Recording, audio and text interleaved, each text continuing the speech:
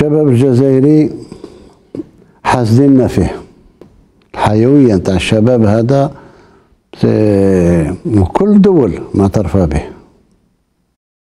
عندهم ظروف في بعض الأحيان لازم شوية صبر.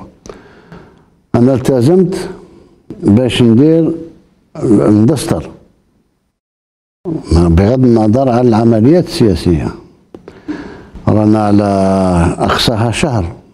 باش ننصب المجلس الأعلى للشباب باش يولي ولا حاجة ولا قرار يتعلق بالشباب يفوت بلا ما يفوت على المجلس الأعلى للشباب. قرروا مصيرهم بيدهم. إلى آخره إذا سياسيا اقتصاديا متكفلين بالشباب تاعنا نعتبر باللي الشباب ثروة.